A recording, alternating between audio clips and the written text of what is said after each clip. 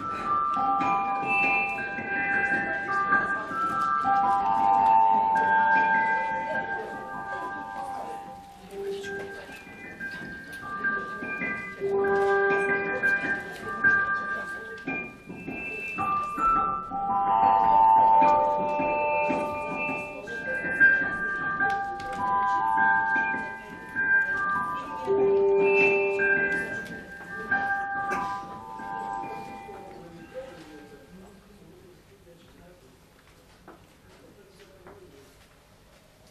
Дорогие друзья, только что вы слышали волшебные звуки челесты. Каждый раз мелодии «Серена весне» композитора Татьяны Смирновой мы открываем наши музыкальные встречи. И сегодня, как и прежде, вас приветствует композитор и пианистка, автор программы, ведущая, заслуженный деятель искусств России – профессор Московской консерватории имени Петра Ильича Чайковского Татьяна Георгиевна Смирнова.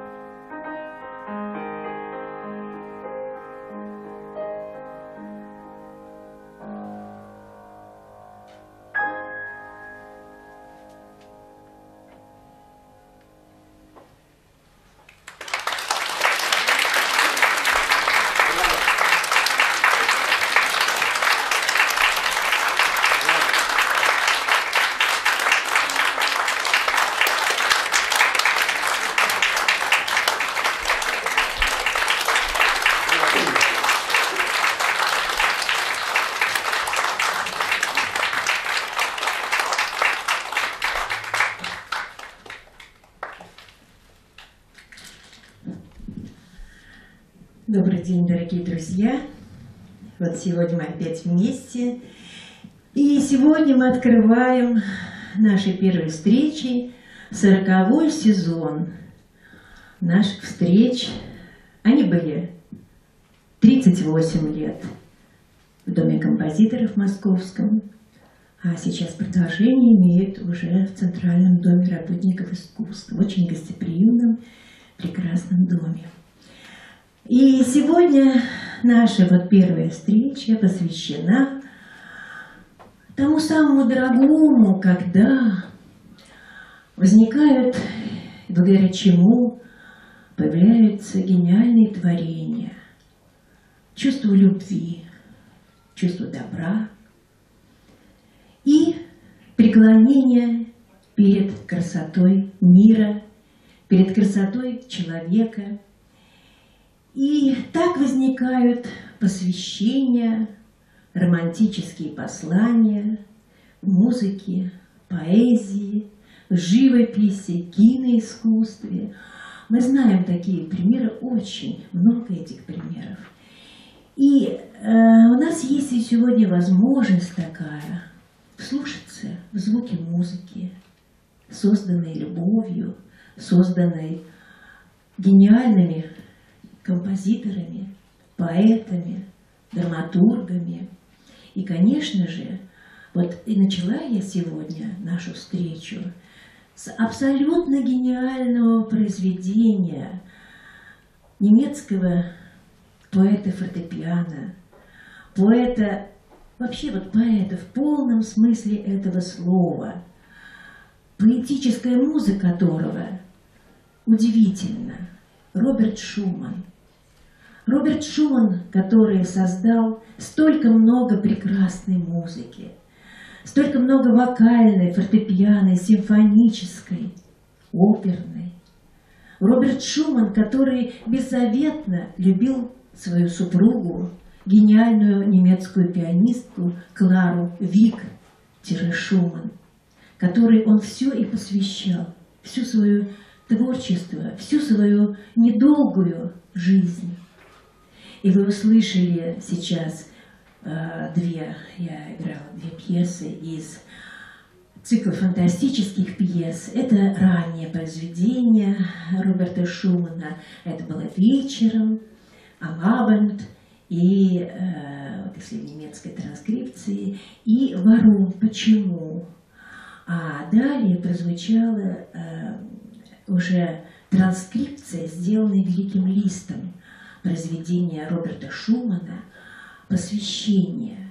Это произведение входит в цикл, вокальный цикл «Мирты», э, который он посвятил, конечно же, Кларе Вик, и которая э, включает 27 произведений, э, вот это трогательное совершенно признание в любви музыкой Кларе Вик – вы знаете, э, поразительно то, что Ференц Лист так прочувствовал музу э, Роберта Шумана, он был настоящий тоже романтик, и он подчеркнул все самое такое драгоценное в творчестве э, Роберта Шумана, вот этой транскрипции. У много, ведь мы знаем, что у Листа транскрипции очень много, и Шуберта великого, и, э, конечно же, Шумана, и Шопена, много. Но вот э, то, что он сделал с посвящением, это поразительно. Это одна из таких ярчайших страниц шумановской музыки в интерпретации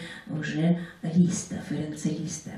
А, надо сказать, что э, период, когда писалось э, произведение вот, «Мирты» вокальное, это был самый счастливый период в творчестве Роберта Шумана, когда, наконец, они э, смогли уже быть вместе с Кларой Вик, когда возникли не только вокальные, но и симфонические произведения, как приношение любви к стопам Клары Вик. И вот такое восхищение его, ее талантом, потому что Клара была не только великолепной пианисткой, но еще она была и композитором, и надо было знать, как трудно быть еще к тому же женой гениального композитора. Это тоже, как говорится, она где-то свое творчество уводила на второй план, и Роберт это отлично понимал. И вот он пишет, я просто хотела зачитать вот форму э, э, выражения мысли э, самого Роберта Шумана, обращение к своей супруге Клары Вик. И вот его стиль, переведенный очень удачно, на мой взгляд. Вот он пишет из Лейпцига в 1842 году, 13 апреля. «Моя дорогая Клара, узнаешь ли ты еще мой почерк? В нашем доме без тебя очень уныло. Кажется, отовсюду слышу вопрос, где же твоя милая Клара? И даже цветы на окнах спрашивают меня. Живу без звуков, без музыки, но только бы получить письмо от тебя. Мне стажен, стажен станет легче. А вот письмо еще из Лейпцига 1 апреля. Твои письма я всегда читаю 3-4 раза подряд – и знаю их наизусть. Что касается исполнения моей первой симфонии в Копенгагене, а она была с концертами, с большой гастрольной поездкой в Копенгагене, и он очень жалел, что он ее отпустил одну, потому что это очень трудно было, и ему трудно, и ей. И вот он пишет, я, э, и, конечно, Клара хотела как бы э, поговорить о том, чтобы исполнение симфонии первой состоялось в Копенгагене. Э, Шумановской первой симфонии. Я э, прошу тебя, моя дорогая Клерхен, не трать на это время, пишет Роберт Шуман. В ближайшие 10 лет все равно же она прозвучит. Исполнит же ее, ведь мир не может остановиться только на Бетховене.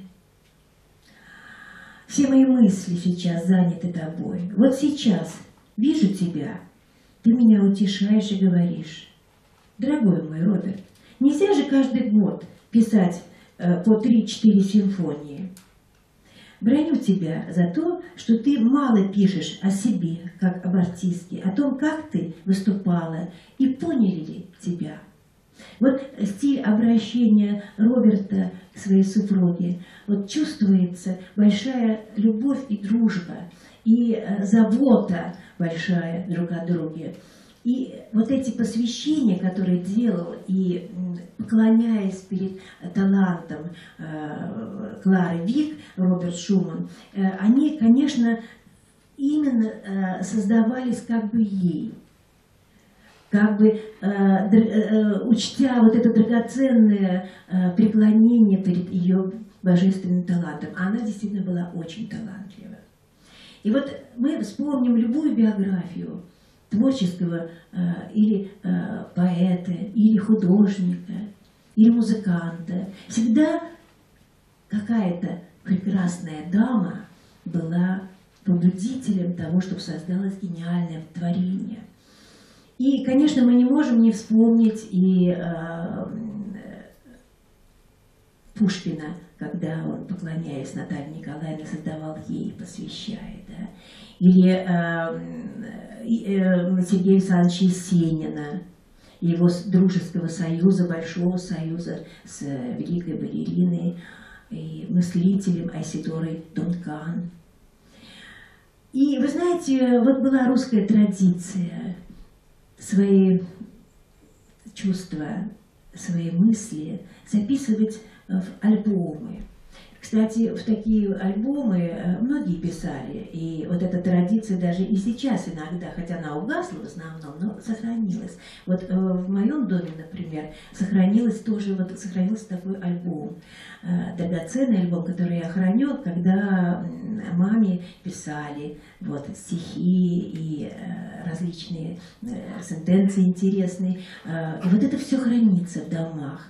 И вот эта вот традиция поклонения прекрасной даме, э, поклонения и записи в альбом стихов, она, конечно, не угасла. Все-таки я надеюсь, и это сохранится. И далее. Я хочу пригласить на сцену артист Андрей Гетман.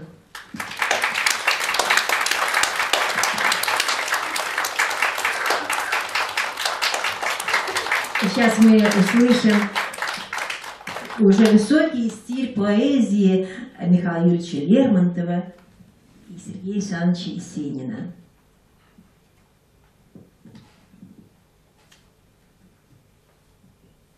Что может краткое свидание Мне в утешенье принести? Час неизбежный расставания настал, И я сказал, прости.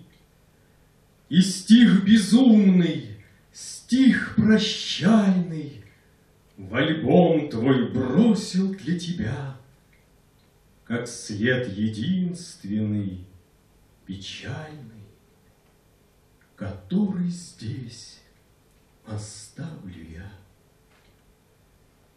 Я не унижусь пред тобою, ни твой привет, ни твой укор не властны над моей душою. Знай, мы чужие с этих пор, ты позабыла, я свободы для заблуждения не отдам. И так пожертвовал я годы твоей улыбки и глазам.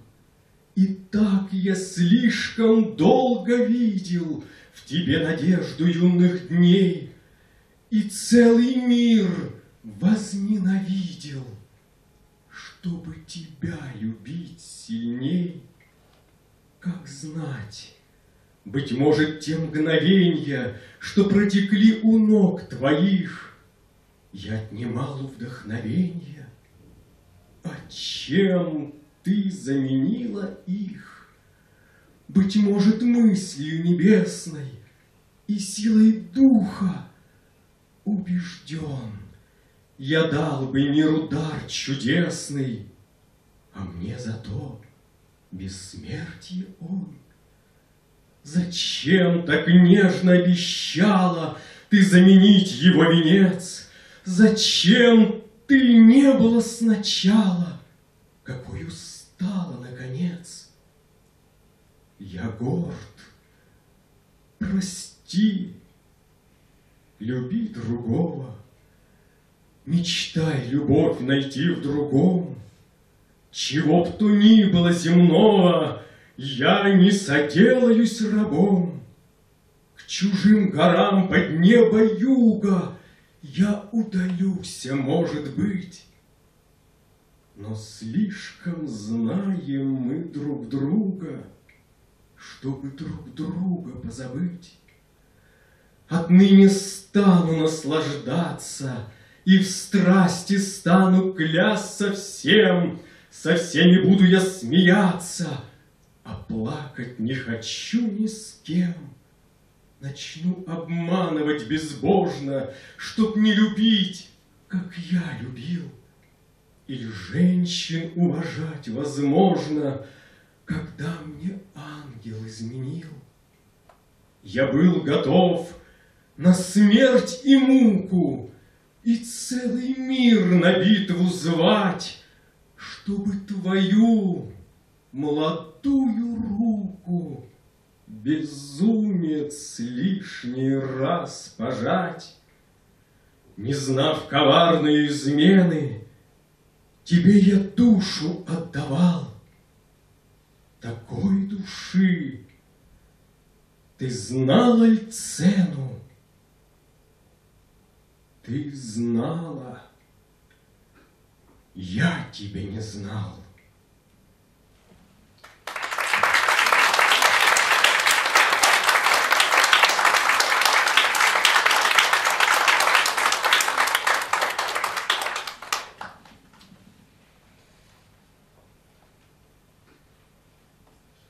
Мечтая о могучем даре Того, кто русской стал судьбой, Стою я на Тверском бульваре, Стою и говорю с собой. Блондинистый, почти белесый, В легендах ставший, как туман, О, Александр, ты был повесой, как я сегодня хулиган. Но эти милые забавы не затемнили образ твой, И в бронзе выкованной славы Трясешь ты гордой головой. А я стою, как пред причастием, И говорю в ответ тебе, Я умер бы теперь от счастья, Сподобленный такой судьбе. Но обреченный на гоненье, Еще я долго буду петь, Чтоб и мое степное пенье Сумело бронзой прозвенеть.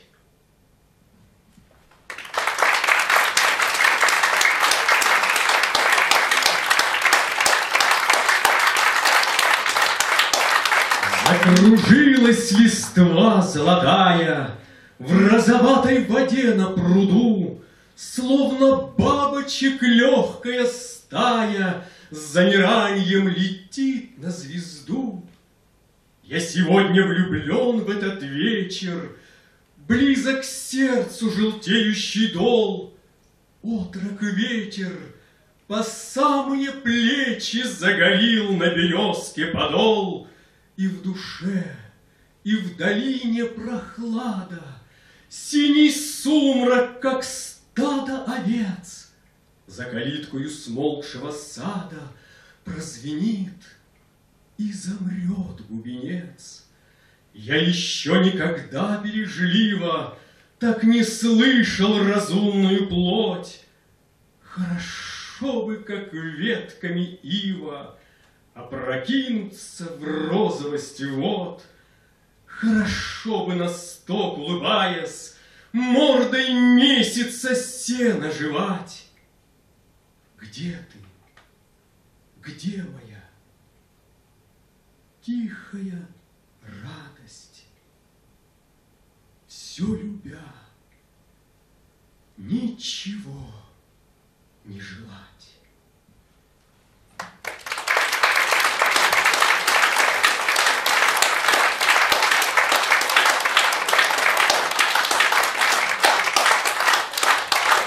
И послание Сергея Есенина Родине. Гой ты, Русь моя родная, Хаты в ризах образа, Не видать конца и края, Только синь сосет глаза.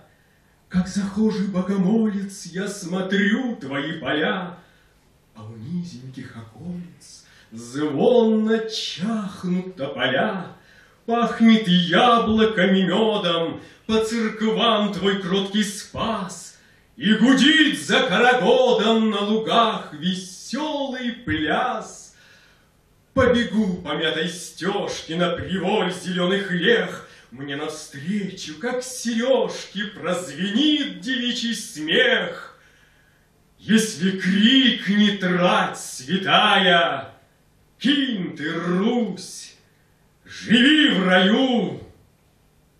Я скажу, не надо рая, дайте родину мою.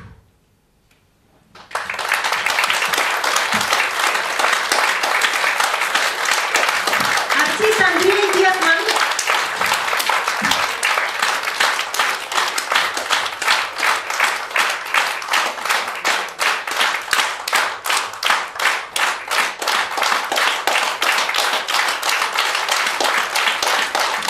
Мы можем сегодня Андрея Викторовича поздравить. У него сегодня день рождения. Это очень неприятно сказать. Желательно здоровья.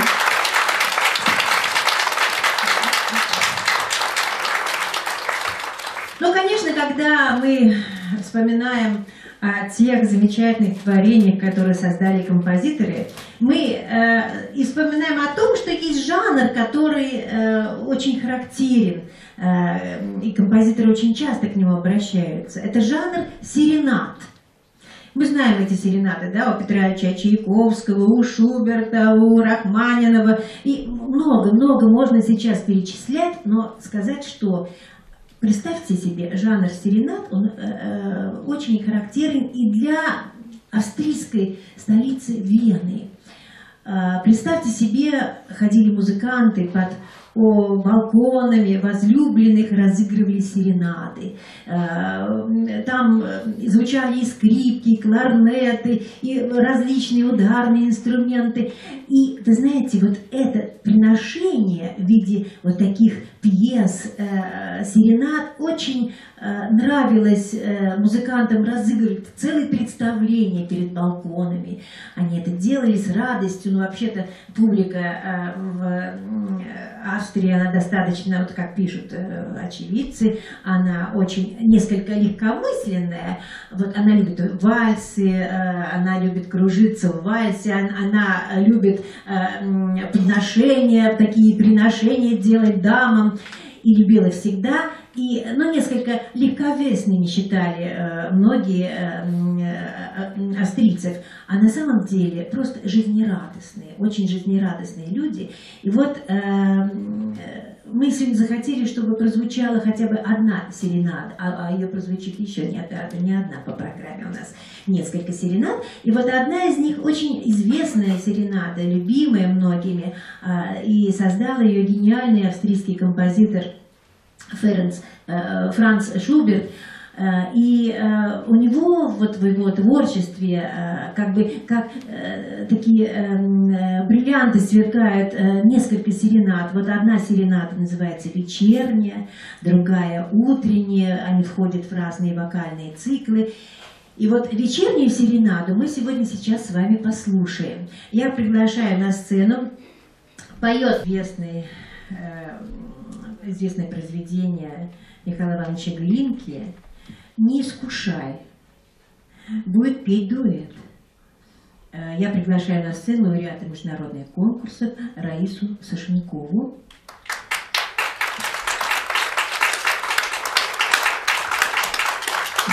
Слова Евгения Боротынского «Не искушай» исполняет Раиса Сашенкова и Анастасия Шаполина.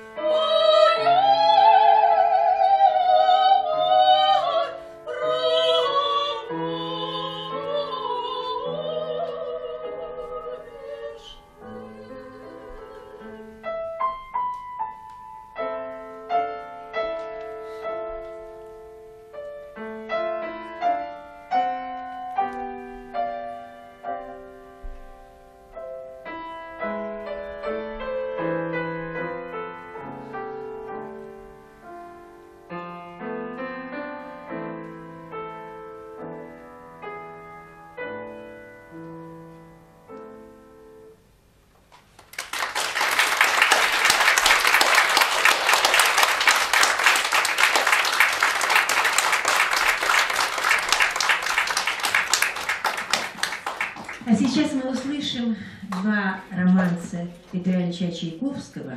Э, кстати, они э, достаточно редко звучат. Один из романсов написан на стихи Николая Огарева.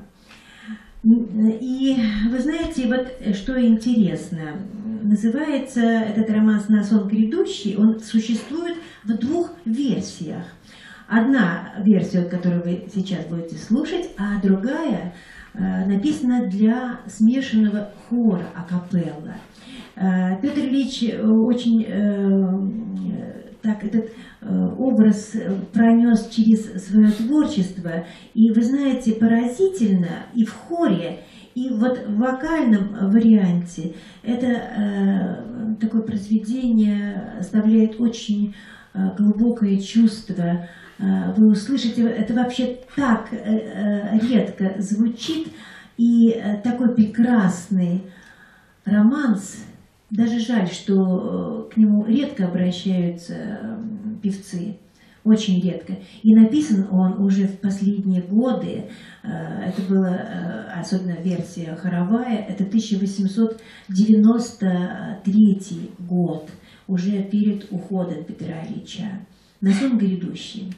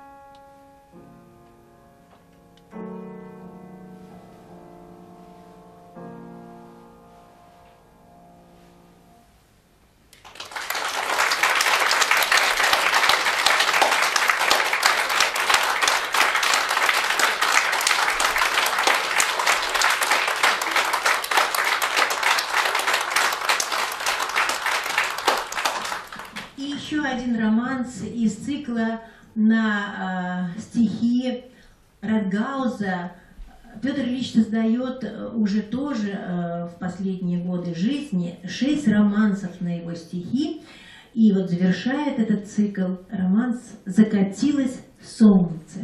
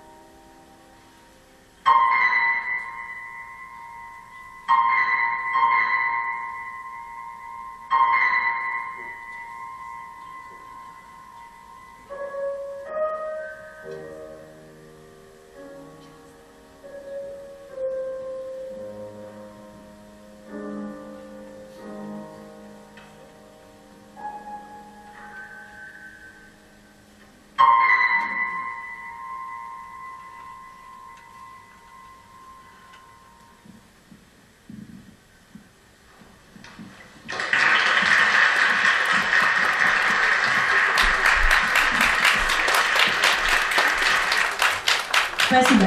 А, вот я хочу сказать, что это мое какое-то творческое приношение было Крыму. Вы, наверное, узнали эти виды, многие, может быть, и были, Воронцовский дворец э, и Форос. Изумительно красивое место. В Фаросе есть э, совершенно поразительная церковь, вот как вы видели на скале. Знаете, когда э, ее видишь с подсветкой вечером, то такое ощущение, как будто она не имеет основания фундамента, она как бы висит в воздухе, и это поразительное, совершенно поразительное ощущение.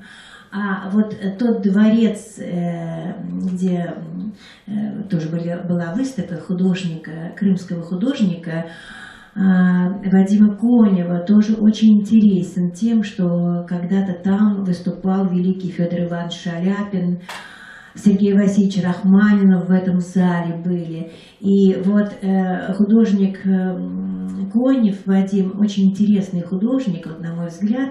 Э, у него э, часто бывали выставки в Москве, но случилось ужасное, э, когда горел Манеж, вы знаете, э, и у него, представьте себе, он перевез все свои большие картины, работы на эту выставку, у него все сгорело, 114 рабов, работ. Это просто, знаете, это вот какое-то совершенно необъяснимое было. Ну, конечно, он еще не совсем, так сказать, такого почтенного возраста, он часть восстановит работу, но все равно это э, большое такое было событие печальное у него в жизни, но очень талантливый тоже человек.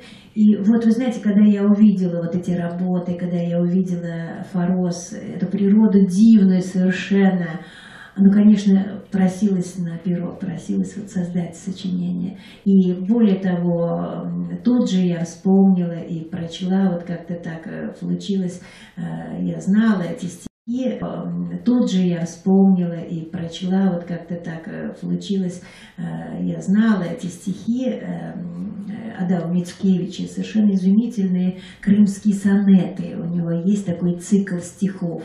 Вот. И, но здесь это не прозвучало, потому что это было впереди э, того, как я вышла на сцену в Рахманиновском зале.